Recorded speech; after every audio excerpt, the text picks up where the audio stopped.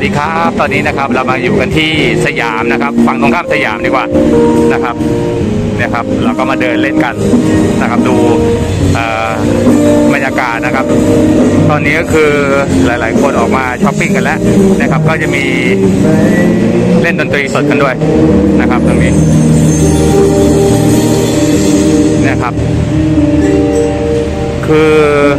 อันนี้เหมือนกับว่าหนึ่งในโรคโควิด ทุกคนก็เหมือนกับว่าพยายาม เขาเรียกว่าป้องกันตัวเองนะครับเว้นระยะห่างใส่แมสอะไรกันอย่างเงี้ยครับก็ถือว่าดีนะครับออกมาใช้ชีวิตกันออกมาจับจ่ายใช้สอยกันธุรกิจร้านค้าเนี่ยจะได้แบบมีเงินหมุนเวียนกันนะครับ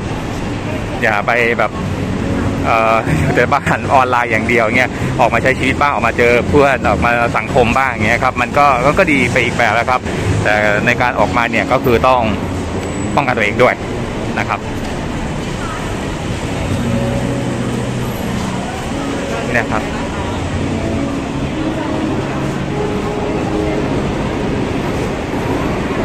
นะครับ ภาพบรรยากาศนะครับสยามสยามจะอยู่ฝั่งทางนู้นนะครับ อันนี้เราอยู่ฝั่งทางด้านตรงข้ามเนี่ยครับคนก็ออกมาจับจ่ายใช้สอยกันเรื่อยๆนะครับเนี่ยครับ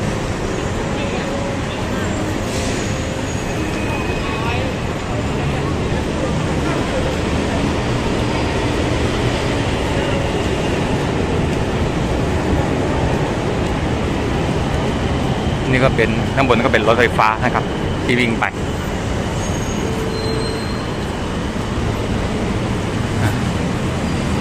อะครับก็จะมีร้านค้าเยอะแยะมากมายนะครับ ทั้งเครื่องสำอางเสื้อผ้าคือเป็นแหล่งแฟชั่นอยู่แล้วนะครับสำหรับสยาม ถึงแม้ว่าจะไม่ใช่อยู่ในตัวของสยามนะครับ อันนี้จะเป็นโรงหนังนะครับ ก่าแก่ถ้าจำไม่ผิดน่าจะเป็นลีโดนะครับ วันนี้น่าจะเป็นลีโดนะครับ เดี๋ยวเราเข้าไปดูด้านในกันนะครับ อ่า อันนี้นะครับ เดี๋ยวเราเข้าไปด้านในนะครับ ก็มีผ่านจุดคัดกรองก่อนนะครับ แล้วก็เข้าไปด้านในลีโดเนี่ยเป็นโรงหนังเก่าแก่มากนะครับ ที่ผมคุ้นชินก็คือว่ามีที่เคยมาเขาเรียกว่าอะไรล่ะ ติวนะครับ ที่นี่ แล้วก็มาดูหนังที่นี่ด้วยนะครับ แต่วันนี้ก็เปลี่ยนไปนะครับโรงหนัง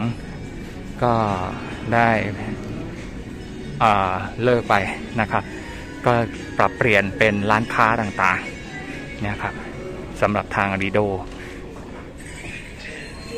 อ่าและอีกโรงหนึ่งก็น่าจะเป็นสกาล่านะครับสกาล่าก็ย้ายไปนะครับ อันนี้ก็จะเป็นโฟโต้ฮัชนะครับ ออไม่ใช่ตู้ถ่ายสติกเกอร์เออที่สมัยก่อนในยุค 90 เนี่ย คนจะนิยมมากนะครับนะครับ ไม่แน่ใจว่าวันนี้กลับมานิยมอีกหรือเปล่านะครับ คือมันเหมือนกับเป็นย้อนวัยนะครับ ในยุคเก่าๆเนี่ยครับสำหรับบริโดนะครับ อันนี้ก็จะเป็นร้านอาหารนะครับ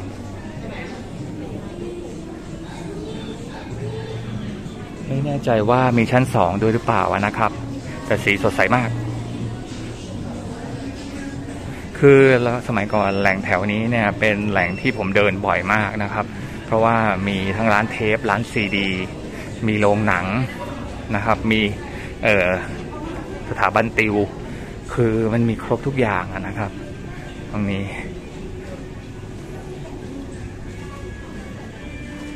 เนี่ยครับ นี่ครับก็จะเป็นเบาะของโรงหนังนะครับ เอามาให้นั่งก็คือเหมือนกับสร้างกิมมิคแล้วก็ให้ระลึกถึงว่าเออที่นี่เคยเป็นโรงหนังมาก่อนอะไรเงี้ยครับ ก็ถือว่าโอเคนะครับถือว่าโอเคสำหรับริโดแต่ผมไม่แน่ใจนะครับว่าริโดจะพัฒนามีชั้นสองชั้นสามหรือเปล่านะครับ เพื่อที่จะแบบปรับปรุงนะครับ อ่า Lido Handicraft น่าจะเป็นชั้นสองนะครับ มีเนี่ยครับตามป้ายนะครับ เดี๋ยวเราขึ้นไปดูชั้นสองกันว่าเป็นยังไง ขึ้นทางไหนล่ะ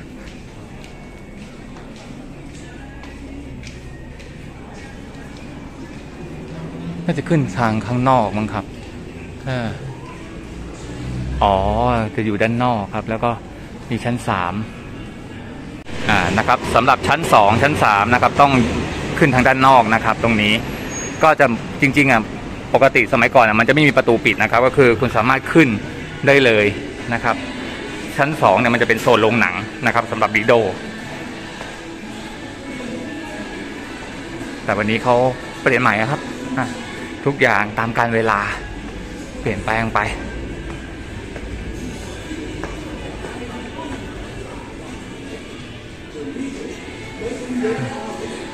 เนี่ยครับ ตรงนี้ก็จะเป็นโซนโรงหนังนะครับ โรงหนังเก่า เนี่ยครับก็จะเป็นโซนโรงหนัง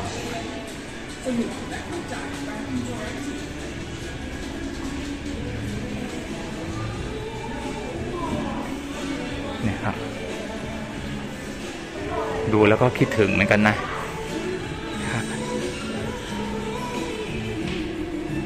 เนี่ยครับโซนด้านนอกนะครับของลีโดตรงนี้ก็จะเป็นเหมือนว่าศูนย์ติวในสมัยก่อนนะครับ อันนี้ก็ปิดกันไปซะส่วนใหญ่นะครับ ตรงนี้ก็เป็นไปตามการเวลาครับ ตรงนี้นะครับ เดี๋ยวเราเข้าไปด้านในเผื่อจะมีอะไรเพิ่มเติมอีกนะครับ ตรงนี้ เสียดายนะครับเสียดายแต่ทุกอย่างก็ต้องเป็นไปตามการเวลา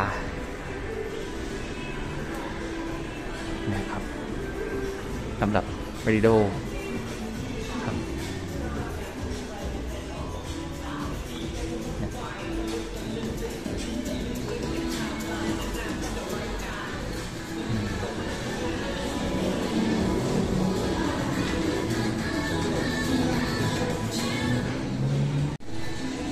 ซึ่งตรงนี้ก็ครบเรียบร้อยนะครับสำหรับดีโดที่มีการปรับปรุงใหม่ อันนี้จะเป็นโรงหนังนะครับ ฉายแค่วันเสาร์และอาทิตย์ นะครับ เท่านั้น